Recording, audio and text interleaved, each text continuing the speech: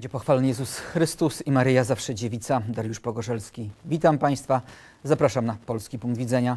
Naszym gościem dzisiejszego wieczoru jest dr e, Łukasz Kister, e, e, Instytut Jagielloński, ekspert do spraw bezpieczeństwa. Witam, szczęść Boże Panie doktorze. Szczęść Boże, dobry wieczór.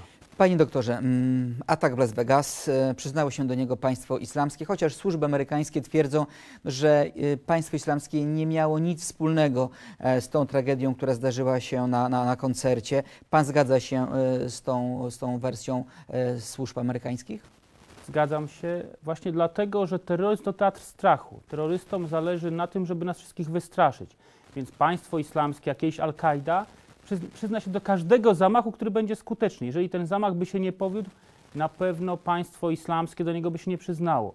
Powiódł się, są ofiary, jest duża tragedia, jest wydźwięk międzynarodowy, to państwo islamskie, mówiąc kolokwialnie i dość e, brzydko, chce się podpiąć do tego sukcesu. Czyli by chce potwierdzić, że jest silne, znaczące i jeszcze coś może. że jest silne, znaczące i jest w stanie przeprowadzić zamach terrorystyczny na terytorium swojego największego wroga, czyli Stanów Zjednoczonych. Państwa, które wszyscy uważają za bezpieczne, państwa nawet dzisiaj o charakterze policyjnym, które dość e, radykalnie ogranicza prawa i wolności obywatelskie. Więc to jest dla państwa islamskiego taki właśnie medialna próba e, ogłoszenia sukcesu swojej, swojej taktyki. I to ma dotrzeć zarówno do, do nas, do Europejczyków, Amerykanów, którzy mają się wystraszyć, czyli e, spełnienie marzeń e, terrorystów, zastraszenie całego świata, zabij jednego, wystrasz miliony, ale z drugiej strony jest to przesłanie i chyba dużo bardziej ważne przesłanie do zwolenników państwa islamskiego. Nie upadamy, nie przegrywamy, jesteśmy ciągle w to grze i- i atakujemy naszego największego wroga, największe mocarstwo To światowe. ja może tak z tej e, katego- z kategorii e, tematów e, z, a właściwie historii mm, ze spiskowej historii dziejów, e, takich trochę spiskowych, a może jest odwrotnie, może to właśnie a służby amerykańskie, wiedząc, że stało za tym państwo islamskie, zneutralizowało ten przekaz, no i taki, a nie inny komunikat wypuściło. Właśnie, żeby nie udowodnić tego, że państwo islamskie ma także swoje wpływy na terenie Stanów Zjednoczonych. Państwo islamskie na pewno ma swoje wpływy na terenie Stanów Zjednoczonych, na pewno ma swoich wiernych wyznawców, sojuszników, jakbyśmy nie nazwali tych, którzy wierzą w ideały e, tego wojujące, wojującej religii, wojującego islamu i dżihadu.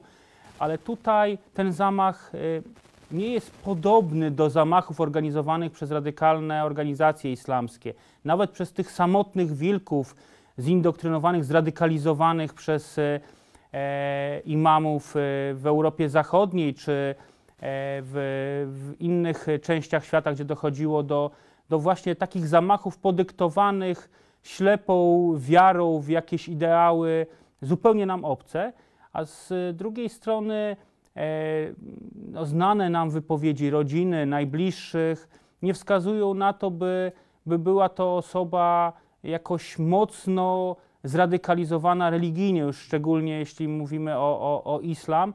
E, raczej wszystko wskazuje na to, że osoba z problemami psychicznymi, osoba z problemami być może także mm, finansowymi, taka, która, która jest w stanie e, pociągnąć za, za spust z, z uwagi na swoje e, no, urojenia psychiczne. Chociaż no, ci, którzy, którzy mordują w imię jakichś ideałów religijnych, no też no, psychicznie nie są. Psychicznie nie są, nie są y, Ale też czasami ci- są tłumaczeni psychicznie, że właśnie problemami, e, mimo że no wiadomo, że gdzieś tam mają te kontakty z tymi s- strukturami Ma, mają dżihadystycznymi. kontakty, bo ci terroryści, którzy dokonują zamachów, ci, którzy Mhm. mordują nas y, na ulicach y, Europy Zachodniej, w Stanach Zjednoczonych, y, e, czy nawet w Australii, bo też tam dochodziło do zamachów, ci, którzy porywają się na e, poświęcenie własnego życia w zamachu samobójczym, no to oni, jak tak myślimy o tym, to oni nie mogą być normalni. Tak w rzeczywistości ta, ta, ta, ta ich y, choroba psychiczna jednak musiała zaistnieć, ale mówimy o nich jako o terrorystach, a nie o osobach chorych psychicznie, Mhm. bo ktoś ich zradykalizował, bo ktoś ich namówił do tego, żeby poświęcili własne życie, a przede wszystkim, żeby zabili innych niewinnych, e, zupełnie obcych im, im ludzi. I to jest e, istota terroryzmu. Zabić zupełnie niewinnych, bo wtedy wywołamy największy wydźwięk. E, Najlepiej dokonać tego na głównym placu Barcelony, Brukseli, Paryża, Londynu czy Berlina, czy teraz właśnie w stolicy hazardu w Las Vegas, bo wiemy, że o tym powiedzą wszystkie media na świecie i to jest cel terrorystów. Przestraszyć miliony ludzi na całym świecie, a nie tych, ci, którzy zginęli, ich już nie trzeba przestraszyć. To- Panie doktorze, a jakie są środki, Pana zdaniem, które by nas zabezpieczyły przed tym? Czy to już jakby ta, ta, ta infekcja, ta zaraza na tyle wdarła się do, do Europy, do, do, do państw zachodnich, że my no, nie jesteśmy tak naprawdę w stanie już przeciwdziałać e, e, tej fali ataków terrorystycznych? No bo, bo, bo właściwie mm, co jakiś czas jest e, m, u- udany lub mniej udany. No niedawno, bo znowuż zdaje się w Londynie była, by, by, by, by, by, by, była próba zamachu. E, Paryż. Paryż, No no co chwila coś się dzieje.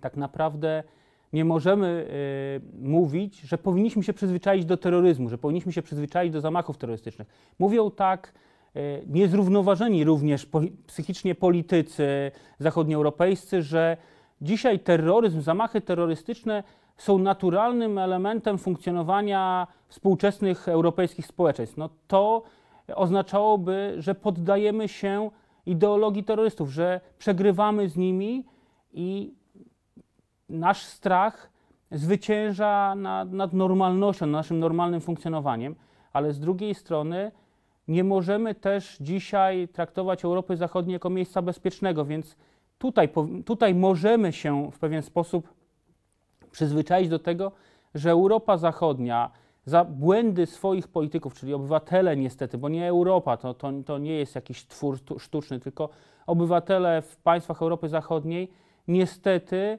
odbierają dzisiaj lekcje za błędy swoich polityków, ale w tym także za swoje No wybory, właśnie. w tym także za to, kogo wybierają i jakie decyzje polityczne podejmują. I to niestety e, musi być dla nas pewnego rodzaju nauczka, e, przestroga i konieczność dokonywania dużo lepszych wyborów politycznych i też samoświadomości tego, czym się mogą skończyć właśnie takie nieprzemyślane działania. Działania, które, które sprowadzają na nas, e, jak pan redaktor słusznie powiedział, taką zarazę, bo terroryzm jest zarazą współczesnego świata, jest czymś, z czym dzisiaj musimy się liczyć, co, czego nie da się odrzucić e, ustawą, nie da się odrzucić jedną decyzją polityków czy powiedzeniem, że dzisiaj w Pols- Polska jest bezpieczna i nas terroryzm nie dotyczy. Nie ma takiego miejsca na mapie świata, które jest wolne od zagrożenia No, ale panie terroryzmem. e, doktorze, słyszymy z ust naszych polityków,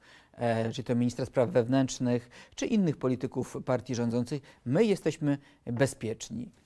Czy jesteśmy? No właśnie. Jesteśmy bezpieczni, bo Polska dzisiaj charakteryzuje się relatywnie niskim ryzykiem zamachu terrorystycznego. Ale to nie znaczy, że to ryzyko jest wykluczone. To nie znaczy, że jest wykluczone i nie znaczy, że nie ma zagrożenia. No, zagrożenie jest czymś, co można stymulować e, w różnymi działaniami. I ono nie wynika wyłącznie z tego, że do Polski przybędą bądź nie przybędą ci, których Europa Zachodnia nazywa uchodźcami, my nazywamy ich imigrantami, a ja cza- bardzo często używam e, takiego zwrotu jak najeźdźcy, no bo to niestety e, w dużej mierze są najeźdźcy, którzy przybyli do Europy palić, rabować, gwałcić, mordować i nie jesteśmy w stanie e, z tym racjonalnie walczyć wspólnie. Wszystkie kraje europejskie nie, nie walczą z tym wspólnie, bo nie chcą, bo, bo trudno tutaj znaleźć e, wspólny mianownik i żaden, nawet najbardziej krwawy zamach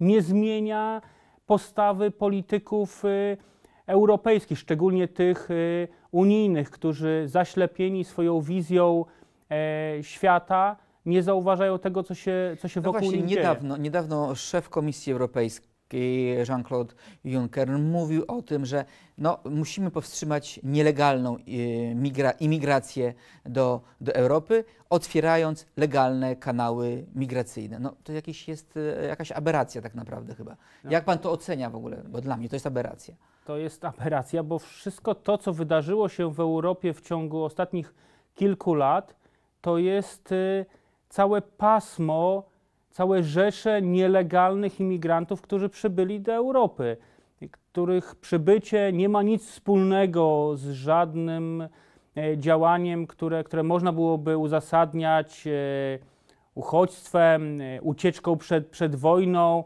czy, czy działaniem, które miałoby na celu ratowanie ich przed, przed jakąś tragedią, która może ich spotkać w, w kraju ojczystym. To widać choćby nawet ze statystyk samej Unii Europejskiej, która podaje, że wśród tych zarejestrowanych y, imigrantów, którzy przybyli w ostatnich latach do Europy, zaledwie 3% to, to są uchodźcy, ich można tak nazwać, czyli ci, którzy przybyli tutaj z obszaru Iraku, Syrii, Libii, czyli tam, gdzie w rzeczywistości e, dzieje się wojna, gdzie dzieje się katastrofa humanitarna i tam na pewno należna jest pomoc, ale czy ona jest e, potrzebna, czy potrzeba jej udzielać tutaj, na terytorium Unii Europejskiej, czy nie lepiej zintensyfikować działania, żeby zakończyć tam wojnę i tam pomóc tym ludziom, żeby oni mogli tam, we własnym kraju, we własnym środowisku,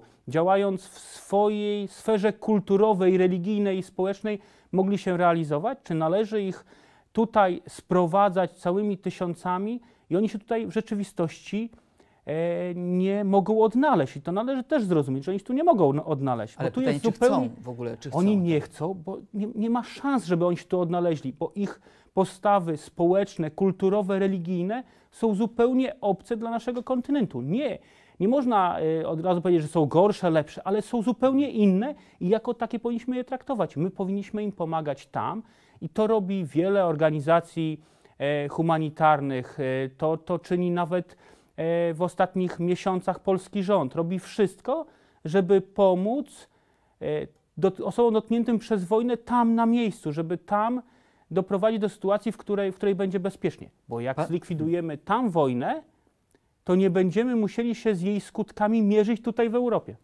No tak, e, pan nazwał um, te osoby, które do, do Europy e, przy, przyjeżdżają, docierają w różny tam sposób, e, najeźdźcami. No, najeźdźca ma jeden cel podbój.